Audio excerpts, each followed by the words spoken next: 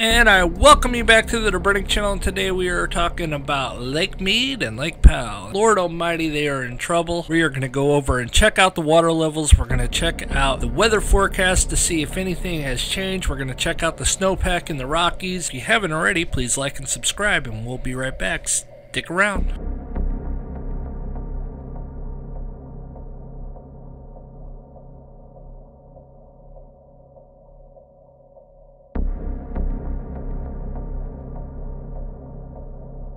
And I welcome you back to the Dobrinich channel. We're going to get right into it. First, we're going to talk about Lake Powell as I want to show you a before and after. This is last year at this time. Look how full the lake kind of looks compared to this. That is just insane. I can't believe that the water has dropped that much. You may be asking yourself, well, how much did that lake drop? Well, we're going to find that out right now. So let's go over there and check that out. As we roll over to Lake Powell now, we're going to check out the water level. And you can check this out yourself at Powell, P-O-W-E-L-L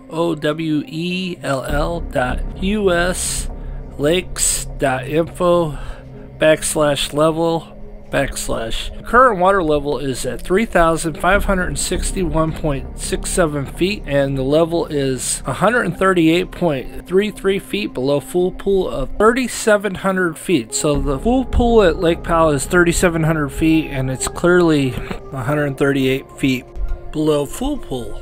Now you can see the decline is incredible.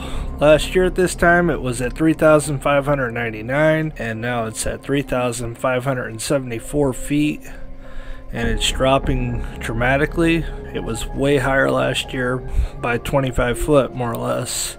So the water level has dropped quite a bit and it's kind of like a V as shown here in this diagram, this is the water level last year, and then the water level drops like that, and that's how you have it. And it'll get less and less as time goes on, and it could potentially just keep dropping and dropping like shown here. Now we're going to go to Lake Mead and check out the water level over there and see what's going on at Lake Mead. So we roll over to this mead.uslakes.info backslash level.asp.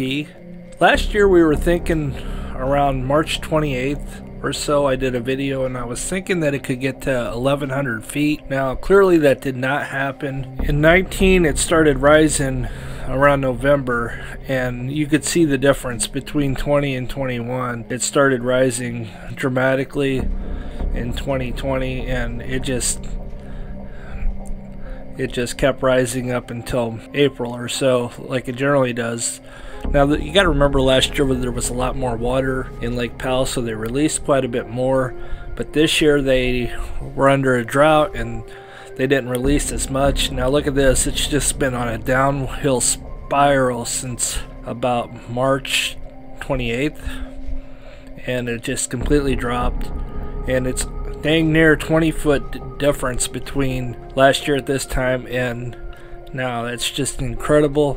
And you guys got to realize that once it reaches 1,075 feet, a water of declaration is declared. Once that is declared, we have big problems as there's going to be cutbacks for everybody involved, and Arizona's going to get the worst end of the deal, from my understanding. Now let's go check out the maps and see what's going on there with windy.com and see if there's any good snow, any rain, anything without further ado, let's roll over there and check that out. We're going to roll over here to windy.com. Lake Mead is down here. Lake Powell's up here. Colorado's over here. This is the Colorado Basin right here.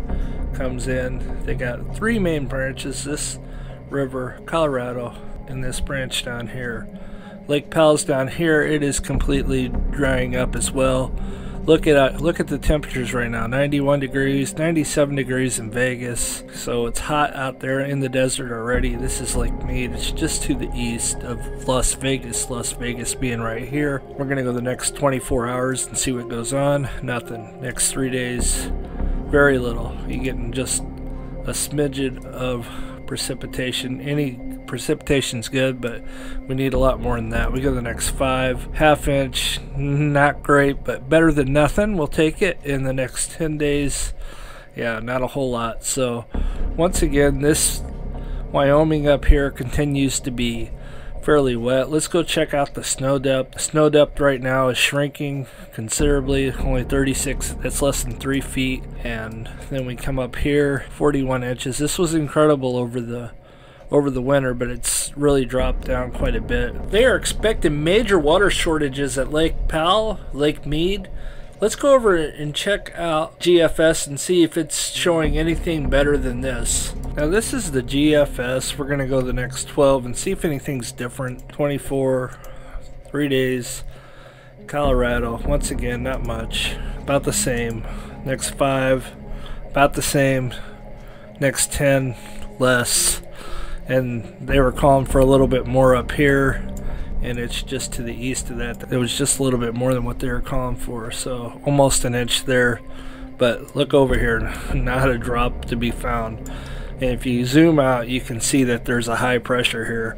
Bad. If you're on Lake Oroville, it's it's terrible too. The next 10 days at Lake Oroville, you got very little. I don't even think that hits Lake Oroville. Lake Oroville starts here, goes way up here not much. So this is incredibly terrible news for everybody involved, all the way from California, Nevada, Utah, Arizona, the Colorados. You guys are in for a world of hurt this summer. It's not going to be pleasant. If you guys are planning on going to the lake, they say many, many ramps have been closed because of low water. You guys be careful if you guys are boaters and you guys are tuning in to go boating. I love to boat. I love water and it's just incredible that there's not going to be no water. And if you are boating just be vigilant of changes in the lake because you just never know when you're going to run aground and it's not a good situation. If you have been on that lake for years you guys still may run aground because you don't know what the depth is underneath unless you have sonar and you are very aware of the